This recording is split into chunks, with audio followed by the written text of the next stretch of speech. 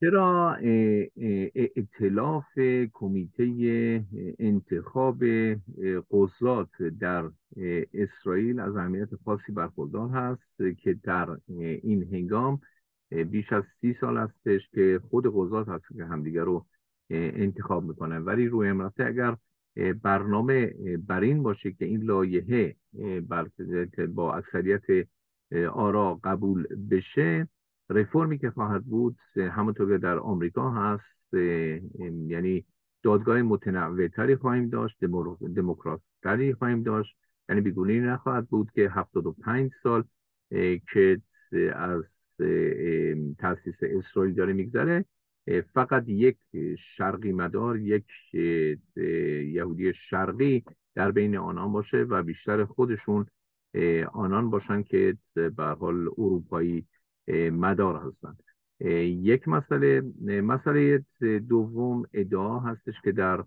سیستم جدید میگن که دادگاه از توانه محافظت یا پاسداری از شهروندان رو در برابر بیعدالتی های دولت دولت نمی‌تونه انجام بده اگر همچین سیستم و رفرمی روی کار بیاد. پاسخ به آنان بگونه هستش که اصلاحات رو یعنی که اون اصلاحات یا رفرمی که دارن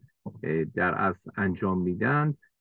قدرت رو به دولت برمیگردونه به پارلمان برمیگردونه و اینی که در دست فقط قضات نیست استقلال خود قضات حفظ میشه به عنوان دیوان عالی. فقط اینی که افراد بیشتری از جوامع بیشتری که مثلا یک عرب یک عرب در اون همیشه بایدش عرب اسرائیلی که همون فردی بودی که آمده و جناب پرزیدنت کتساب رو در موردی که داشتن دادخواستی که بر ایشون بوده آمدند و محاکمه کردن در واقع اصلاحاتی که از برخورد با قدرت بیش از حدی که دیوان عالی در برابر دولت در برابر پارلمان به عهده گرفته در بقیه جهان دموکراتیک پذیرفتنی نیست. یعنی مانند گسترش حق بهش میگن ایستادگی اجتناب می‌کنن یعنی هر کسی که می‌تونه دادخواست بده برای هر درخواست تجدید نظری باشن نه تنها کسانی که آسیب دیدن. در مقابل مردم ابزاری را خواهند داشت برای تاثیرگذاری برای تصمیم دادگاه عالی دیوان عالی به نفع خود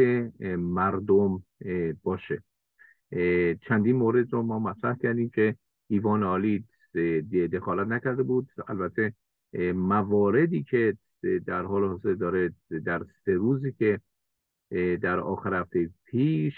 دیوان عالی داشتن و استرخیوت که در صدر دیوان عالی قرار گرفته مسائل رو که مطرح کردن و آنچه که در آکادمی داره انجام میشه بر ضد این رفرم سیستم غذای اسرائیل. بگونی هستش که شپ و شکیت ایجاد می‌کنه که چگونه دیوان عالی با وجود استقلالی که از اون برخوردار هست می‌تونه با داشتن استدلال خودش استدلال اون افرادی که خودشون رو روشنفکتر می‌دونن خودشون رو والاتر از مردم عادی می‌دونن بر طبق استدلال خودشون بیان و قانون رو که قانون تصویب شده رو تفسیر بکنن و اون قانون رو حتی بیان و ملغا بکنن یعنی که باطلش بکنن.